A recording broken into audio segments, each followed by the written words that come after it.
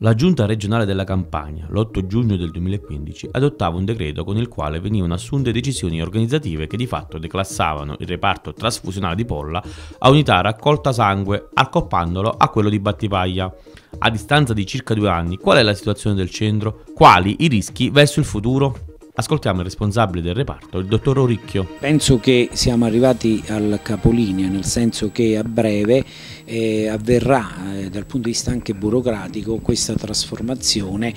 in eh, UDR, quindi unità operativa semplice di raccolta ehm, in collegamento con il SIT di Battipaglia. Diciamo gli obiettivi eh, li abbiamo tutti quanti raggiunti anche quest'anno perché poi alla fine eh, anche eh, come dicevo in precedenza eh, se eh, da quando sono arrivato qua ero vestito insieme e avevo anche il cappotto mi stanno riducendo solamente con i calzini ma nonostante tutto voglio dire ehm, stiamo sempre lavorando allo stesso modo quindi abbiamo incrementato maggiormente le attività attività ambulatoriali, ho incrementato l'attività riguardante la terapia anticoagulante orale perché eh, tenete presente che questo centro nonostante tutto è uno dei centri accreditati, eh, accreditati all'FCSA, quindi Federazione Centro Anticoagulati eh, della provincia, però se noi andiamo in quello che è il lavoro per cui è nato in un servizio, una medicina trasfusionale che è quella di raccogliere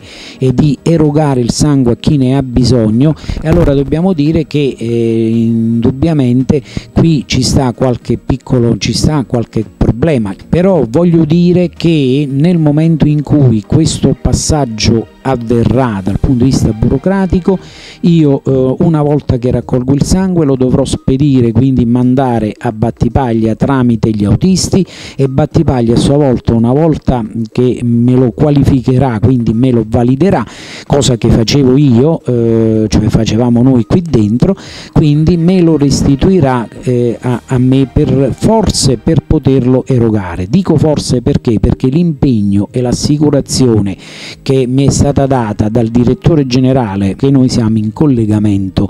con il SIT, non siamo a interarticolazioni, quindi ciò significa che il sangue, eh, già abbiamo mandato anche una richiesta al centro regionale sangue dove io aspetterò che gli ispettori che mi hanno, che mi hanno accreditato come unità di raccolta, quindi solo come raccolta e conservazione del sangue, mi faranno un'altra visita per riaccreditarmi anche come ehm, assegnazione e come erogazione per conservazione. E nella sanità questo ospedale va preservato perché è uno dei migliori ospedali, lo era una volta, non si è declassato per ovvi motivi, ma è uno dei migliori ospedali che esiste nella zona, per cui io penso che eh, bisogna far quadrato tutti quanti insieme, al di là di quelle che sono le, le, bandiere politiche, ma bisogna far quadrato non sugli interessi personali dei singoli, dei singoli primari, dei singoli eh, eh, direttori, ma bisogna far quadrato per l'interesse dei cittadini, perché un domani potremmo essere anche noi utenti.